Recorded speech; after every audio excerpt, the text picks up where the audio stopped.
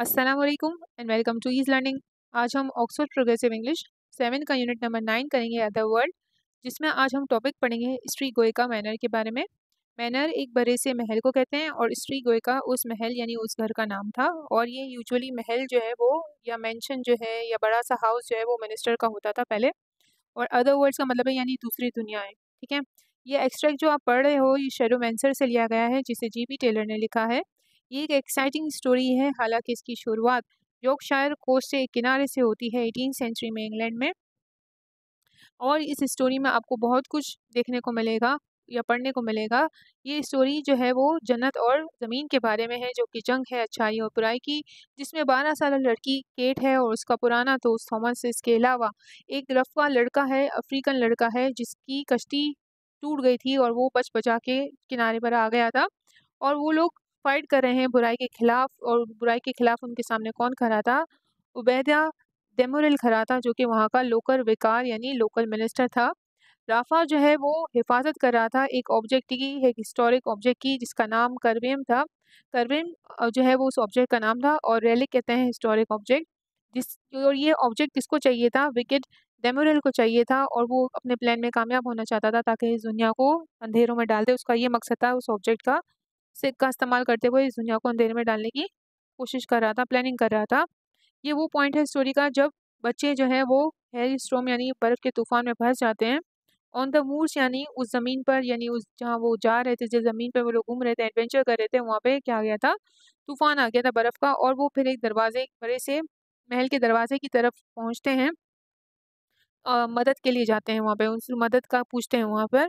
Explanation में यहाँ पे देखें, लिया हुआ है, जो पुराने वक्तों में लॉर्ड ऑफ़ द मैनर जो है वो लैंड ओनर होता था डिस्ट्रिक्ट का, यानी जो ज़मीन का मालिक होता था इलाके में, उसको लैंड ऑफ़ द मैनर कहते थे और उसके घर को मैनर हाउस कहा जाता था। ठीक है, ये बड़ा सा मैंशन है और बड़ा सा महल होता था यूजुअली पैराग्राफ नंबर वन पे बात होती है कि दरवाज़ा खुलता है आहिस्ता से और उसमें से एक छोटे कद का आदमी निकलता है जिसका फेस जो है, मुँह जो है वो रेड हो रहा था, जिसकी सफ़ेद मूछें थी और वो बहुत फ्रेंडली स्माइल के साथ, बड़ी स्माइल के साथ निकला बाहर की तरफ़ और उसने कपड़े कैसे पहने हुए थे? ब्रीच पेयर ऑफ़ ब्रीचेज यानी उसने पजामे पहने हुए थे और रेड हंटिंग कोट पहना हुआ था, शिकारी कोट पहना हुआ था। इसके अलावा ब्लैक कलर के बड़े बड़े बूट्स पहने हुए थे।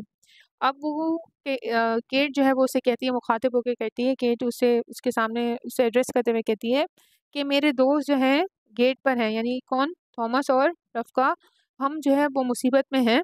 परेशानी है हमें हमें आप अपने स्टेबल में यानी हॉर्स वगैरह को जहाँ रखा जाता है उसे स्टेबल कहा जाता है, हमें एक रात रुकने के लिए आप वहाँ पे परमिशन दें। वो सोचती नहीं है और बोलना स्टार्ट कर देती है, वो ये भी नहीं सोचती कि दरवाजे पे जो बंदा आया है, क्या वो हाउस कीपर है या कोई सर्वेंट भी हो सकता था, बस उसने अपनी बात उसे कह दी। अब वो बंदा उसे कहता है केट को कहता है कि तुम आ सकती हो अंदर और वो फिर जो है उसके दोस्तों को भी इशारे से बुलाता है शाउट करके बुलाता है इशारा करते हुए शाउट करता है कि तुम लोग भी अंदर आ जाओ और अपने दोस्त यानी केट के साथ अंदर आ सकते हो। यहाँ एक बड़ा कमरा है जहाँ पर आग भी चल रही है, खाना भी चूल्हे पर रखा हुआ है। तुम अंदर आ जाओ और ताकि तुम्हें क्या मिल जाए? गर्माहट मिल जाए। पैराग्राफ नंबर टू में बात होती है, वो बहुत फ्रेंडली और कामली बात करता है, यानी बहुत दोस्ताना तरीके से बात कर रहा होता है, उस पुरसकून होता है। तभी गहरे बादल आ जाते हैं आसमान पर वेस्ट की तरफ़ से और मून जो है पूरी कोशिश करता है मून की उसकी जो रोशनी है, लेकिन मोटे मोटे डार्क ब्लैंकेट जैसे बादल आकर आसमान पर उसे उसकी रोशनी को गायब कर देते हैं। रिलिकेंटली कहते हैं हेजिटेट होते हुए यानी हिचकिचाते हुए थॉमस ने अपना सर हिलाया रफ़ा की तरफ़ और वो दोनों वॉक करते हुए घर के दरवाजे की तरफ़ से अंदर दाखिल होते हैं। फिर इन तीनों को वो बंदा जो है वो वेलकम करता है, अपनी ग्रेट स्माइल के साथ, अपनी बड़ी स्माइल के साथ उन्होंने घर ले आता है। और वो आदमी जो है अपने हाथ उन बच्चों से हैंडशेक करता है तीनों बच्चों से हाथ मिलाता है, उन्हें कहता है कि तुम्हें वेलकम है स्ट्री कोई का मैनर में, उस घर का नाम है।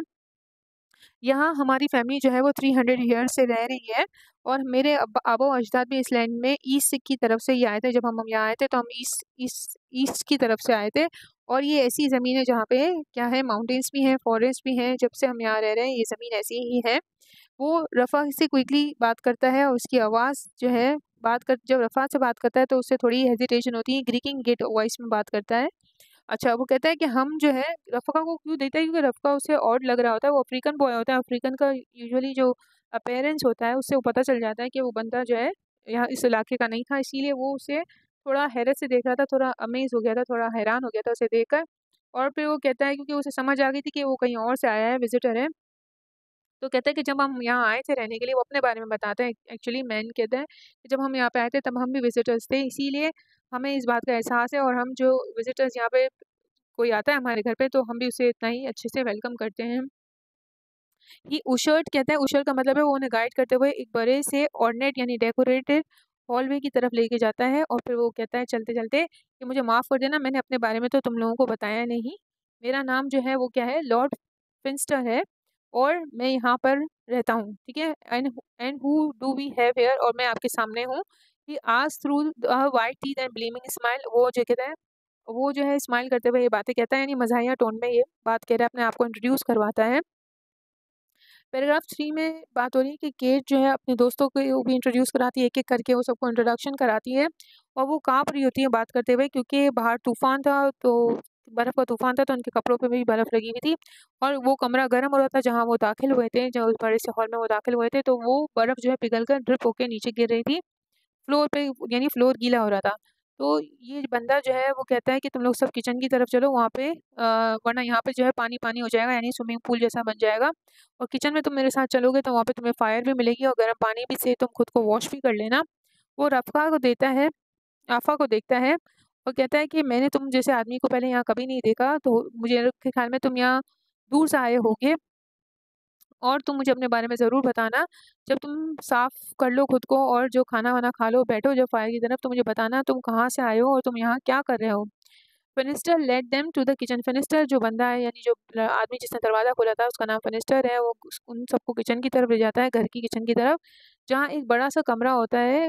वो किचन जो है एक बड़ा सा कमरे की तरह होता है जिसमें बड़ी बड़े पथरीली दीवारें बनी हुई हैं और एक बड़ा सा फायर प्लेस है एक, एक ऐसा लगता है फायर प्लेस जैसे लंबा सा कोई आदमी हो। इन द हर्ट हर्ट यहाँ पे जो है वो फायर के फ्लोर को कहते हैं। बहुत तेज़ी से, बहुत तेज़ आग जल रही थी वहाँ पे। फ्लिकरिंग अगेंस्ट द वॉल जो कि किसकी तरफ़ बढ़ रही थी? दीवार के साथ चिपक रही थी और उसमें से बहुत ज़्यादा शोले निकल रहे थे। उसमें स्मोक निकल रही थी, धुआँ था और उसकी जो चिंगारियाँ ऊपर की तरफ़, चिमनी की तरफ़ जा रही थी और वो उन्हें कहता है कि तुम स्टैंड जो बंदा है उन्हें कहता है तीनों बच्चों को कि तुम जो है आग के पास खड़े रहो ताकि तुम्हें घरवाहट मिलती रहे। वो तीनों बच्चे इतना क्लोज हो जाते हैं कि बस जले नहीं, इतने मतलब काफ़ी हद तक जो है वो आँख के करीब खड़े हो जाते हैं और इनके इतने करीब खड़े होते हैं कि उनके जो कपड़े हैं उनमें से स्टीम निकल रही होती है और वो एवोपरेट हो रही होती है और ऐसा लगता है जैसे उनके कपड़े जो है गर्म हो गए हों।